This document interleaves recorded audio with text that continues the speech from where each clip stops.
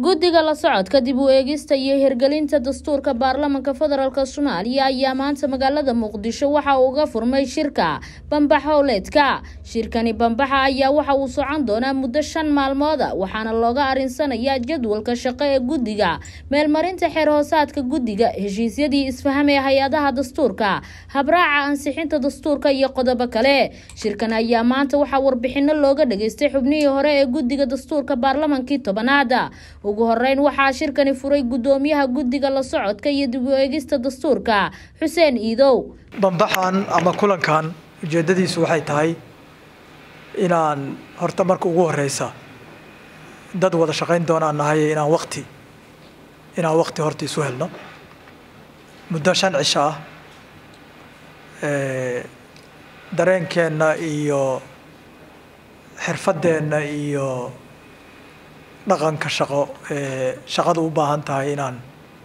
inaan wadaagno. Waa ujeeddada koobaad. Ujeeddada labaadna waxay tahay inaanu daraaseyno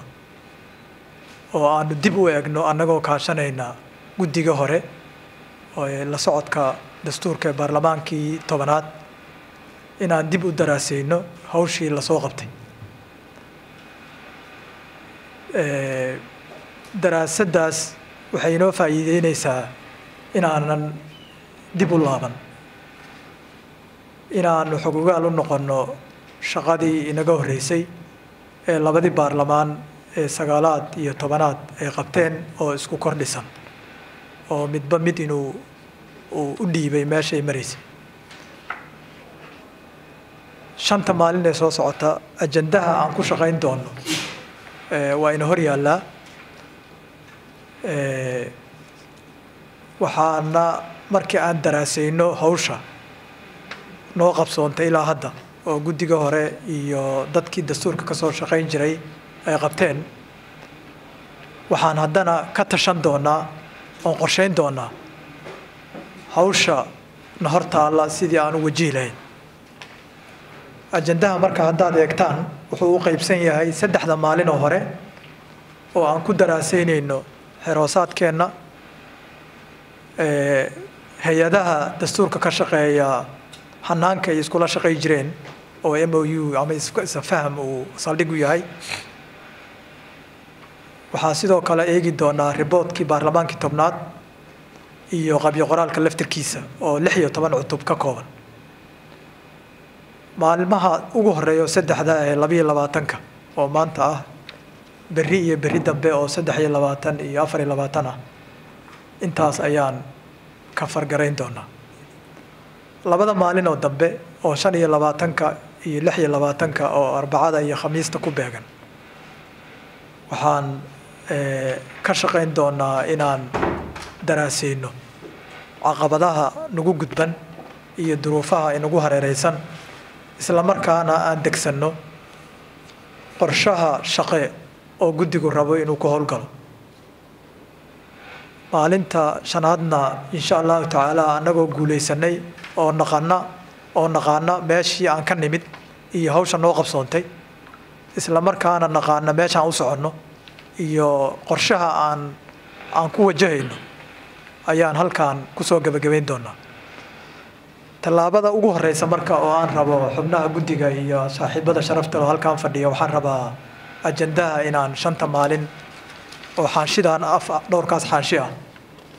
Inaan horta aan aan aan isla eegno horta intaanan ansixin oo aan maalin maalin iyo saacadaha iyo itamiska ku jira inaan isla eegno oo aan internalize garayno aan yeelanno. Yacni hadda xirfadlayaala hadda noo soo qoray laakiin xubnaha guddigu inay anta eegaan oo maalinta koowaad fiiriyaan qodobada ku jira oo maalinta labaad eegaan oo saddexaad eegaan oo afaraad eegaan shanaad eegaan kadibna wixii laga bedeli raba laga bedelo aan annagoo naqaana qaabka aan u shaqayn doono shanta cisho soo socota inaan kadib bilowno intaasaan aan rabay inaan inaan ka bilowno. Waxaa kaloo inoo furan furidda maadaama aan joogno saaxiibaday kaleo halkaan fadhiyo xubnaha dhan iyo xirfadlayaasha. In aniga dhan aan u dhannahay oo serious aan ka noqono oo dowlad goboleedana hadhow ma dhihi karaan wixii meesha ka soo baxay anagu kuma jirin iyo nooma joogin. Erga hataa looga soo daray aad sheegayso oo mumathil khaas ah. Marka marti kama tihiin meesha waa madal idankuna qeyb ka tihiin. Aqal kasta oo baarlamaanka federaalka ka tirsan jamhuuriyadda federaalk ee soomaaliya ka tirsan waxa uu dooranayaa shan ka mid ah xubnihiisa inay ka mid noqdaan xubnaha guddiga la socodka. Soo gadi intaa waxaa dheer maamul kasta oo ka jira qaybna ka ah jamhuuriyadda federaalk ee soomaaliya kaasoo u qalma inuu noqdo maamul ka mid ah federaalka. Marka laga fiiriyo dastuurka soomaaliya waxa uu soo magacaabi doonaa hal ergey. Maryan cali nuur maarisa c b a t v muqdisho